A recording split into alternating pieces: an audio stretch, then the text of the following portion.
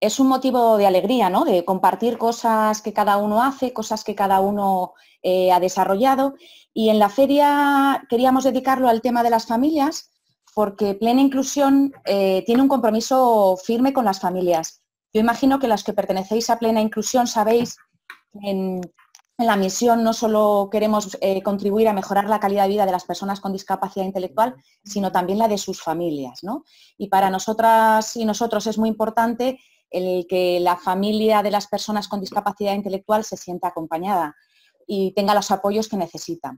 Pero plena inclusión no quiere hacerlo de cualquier manera. Yo imagino que algunos conoceréis el plan estratégico que tenemos como movimiento asociativo, que es un plan eh, que recoge las acciones y los objetivos que queremos desarrollar durante un periodo de tiempo.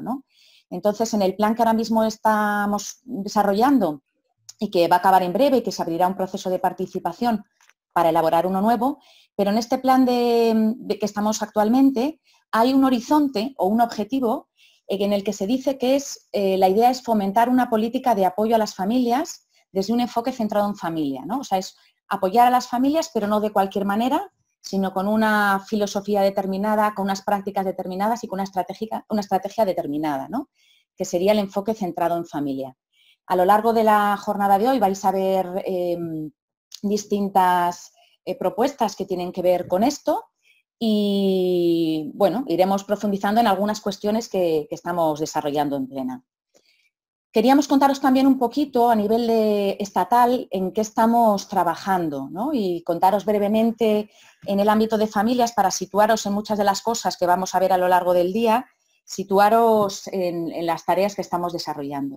Son todas estas que veis en pantalla, yo las voy a comentar eh, brevemente. Em, estamos desarrollando comisiones y grupos de familiares, ¿no? Eh, bueno, son grupos mixtos de familiares y profesionales. Y estos son los cinco temas em, que estamos trabajando ahora mismo a nivel estatal.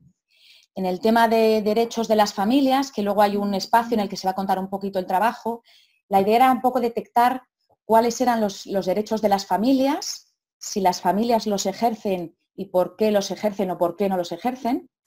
Y sobre todo crear herramientas eh, que permitieran a los familiares conocerlos y poderlos llevar a la práctica. Esta es una de las comisiones, bueno, que ya ha acabado su trabajo y se ha cerrado en el año 2019, pero que en la feria luego a continuación van a presentar eh, la tarea desarrollada. Otra comisión que tenemos es información a familias. Nos preocupa mucho el tema de que las familias en todos los estudios de necesidades, una de las principales cosas que solicita es información Estamos intentando en este grupo de trabajo acercar esa información a las familias a través de la web de Plena Inclusión. La web va a estar, eh, está en proceso de renovación y de mejora, tardaremos un poquito, pero la idea es hacer una web más potente y más facilitada tanto para las personas con discapacidad como para las familias y el público en general.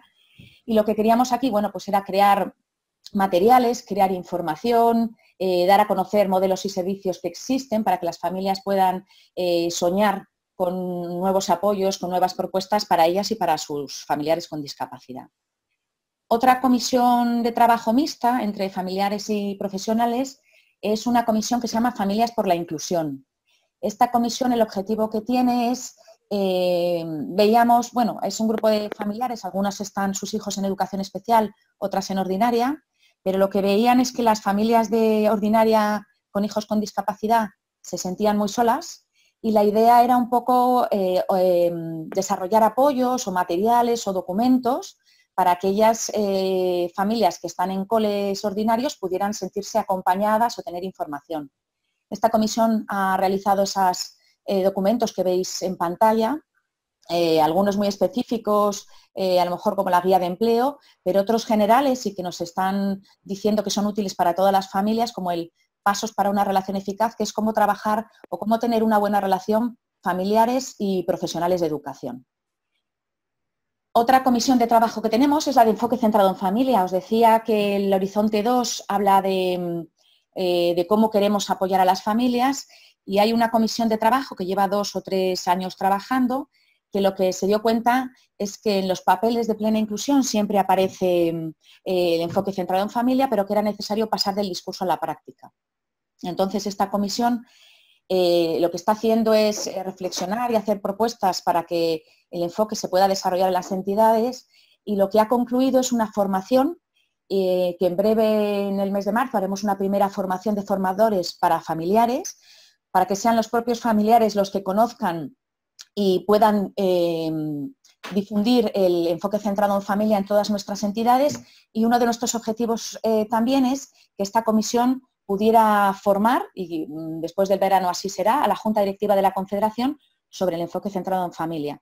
Porque veíamos que era clave que las juntas directivas eh, estén, estén formadas. Y la última comisión es una comisión que lleva muchos años de trabajo, lleva, bueno, iba a decir que casi 20, ¿no? Y que ha ido cambiando de temas, de trabajo. Eh, y hoy van a presentar uno de ellos, que es el que aparece en pantalla, ¿no? A la izquierda, el modelo de servicio de apoyo a familias, que es una también de las claves de nuestro, de nuestro movimiento asociativo. Además de estas comisiones de trabajo, a nivel estatal estamos desarrollando dos pilotajes, ¿no? dos experiencias pilotos en un grupo de entidades eh, no muy grande, para si el proceso sale bien, poder eh, difundirlo a otras entidades. Los dos pilotajes que estamos haciendo es cómo implementar el enfoque centrado en familia en centros y servicios de personas adultas, porque en plena inclusión hay como una creencia a veces de que el enfoque centrado en familia es solo para familias de atención temprana o familias con niños. Luego Marga Cañadas también nos hablará de ello. Y hay otro proyecto piloto que es Soledad Cero. Estamos detectando que hay un problema grave en la sociedad que es de soledad y las familias en riesgo de exclusión tienen más posibilidades eh, de tener esa, esa dificultad o esa soledad. Entonces estamos diseñando un proyecto en colaboración con el entorno, con la comunidad, para ver de qué manera podemos incidir y reducir eh, ese sentimiento de soledad. Otro elemento importante que ha empezado ahora y que yo creo que está tomando mucha fuerza es la red de hermanos estatal. Eh, durante, hemos, hecho unos, hemos hecho cuatro encuentros estatales de hermanos y hermanas, cuñados y cuñadas, pero ahora ya se ha dado el paso a constituirse con una comisión que se reúnen online y que pues, trabajan estos cinco temas de trabajo en comisiones. Ahora mismo está incipiente, están empezando a organizarse pero en breve se volverá a abrir para que más hermanos y hermanas o cuñados y cuñadas que quieran se puedan incorporar y trabajar a nivel estatal por las cosas que ellas crean que son interesantes.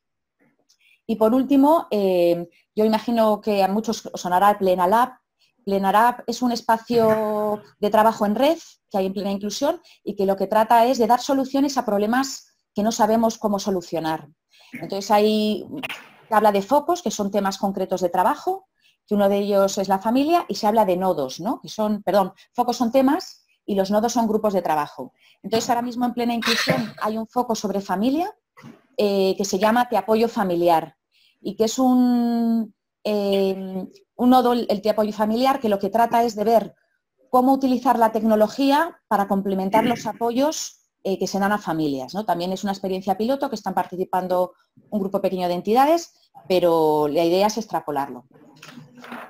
Y por último, yo creo que uno de los temas, bueno, me quedan dos cosas. Por último, un tema clave es el de la calidad de vida familiar. Estamos trabajando en colaboración con la Universidad Ramón Llull y con la Universidad Autónoma de Madrid, que también nos van a exponer a continuación el tema de calidad de vida y el tema de las herramientas. Y a nivel estatal también hay una red que yo imagino que conoceréis, es una red em, en cada una de las federaciones. Por favor, hay alguien que tiene el micrófono abierto, si no os importa cerrarlo, ¿vale? Y hay una red de profesionales de apoyo a familias, uno o dos profesionales en cada federación autonómica, que desarrollan programas de, apoyo a familias, bueno, pues con subvenciones autonómicas y, en coordinación unos con otros. En principio esto es lo que desarrollamos a nivel estatal. Antes de dar paso a Carmen a ver si está Carmen Lauzurica eh, voy a mm, comentar tres cositas breves del Zoom. Es muy importante, por favor, el micrófono silenciado para evitar sonidos, ruidos que luego puedan distorsionar. Eh, renombraros, si no os habéis nombrado, por si luego queréis hacer alguna pregunta. Renombrar es, poniéndose encima, podéis cambiar el nombre y poner el nombre de qué comunidad sois. Eh, por si luego hacéis preguntas o comentarios, poder daros respuesta. Recordaros que se graba que las personas que no han asistido lo podrán ver a través del canal de YouTube de Plena Inclusión, que lo subiremos en unos días, y que hay un chat por si queréis comentar algo o hacer alguna pregunta.